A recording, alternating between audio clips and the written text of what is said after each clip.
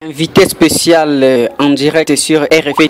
Bonjour, monsieur le chef du groupement Viringa de Babika. Bonjour, monsieur le journaliste. Qu'est-ce qu'on peut retenir de votre présence ici en ville de Boutembo Bon, si je me trouve présentement en ville de Boutembo, c'est d'abord pour raison de sociale. Euh, j'ai été éprouvé, euh, et j'ai perdu une de mes petites filles été euh, écrasée au niveau et je suis en deuil présentement. Aujourd'hui, les Masoba en secteur de Bapere et à la une des actualités sur les réseaux sociaux. Vous attaquez autorité coutumière de cette entité. Quel est votre commentaire vis-à-vis de ce qui se déroule actuellement à Kinshasa?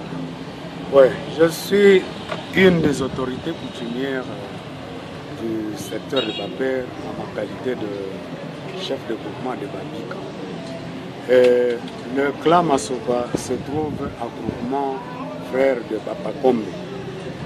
Et ce qui se fait à Kinshasa n'est pas nouveau pour moi, d'autant plus que je peux dire que j'ai été parmi les pionniers qui avaient milité pour que la cartographie participative eh, nous rejoigne en secteur de Babert.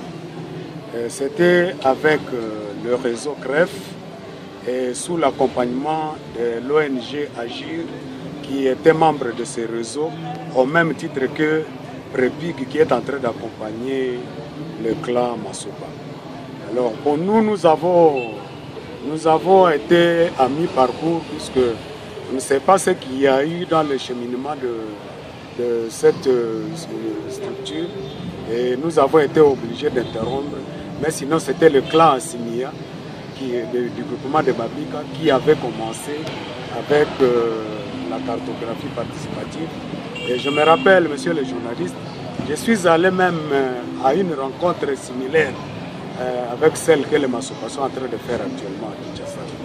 Donc c'était vraiment, je me félicite que ce clan ait progressé et qu'il soit déjà arrivé là où nous n'avons pas pu faire mieux que Qu'est-ce que vous aviez fait qui prouve réellement que vous êtes les pionniers de cette activité en secteur de Bapere Effectivement, euh, avec euh, le réseau CREF, euh, nous avons été formés que la cartographie participative va nous mener à, avoir de l'État congolais la gestion de nos forêts communautaires.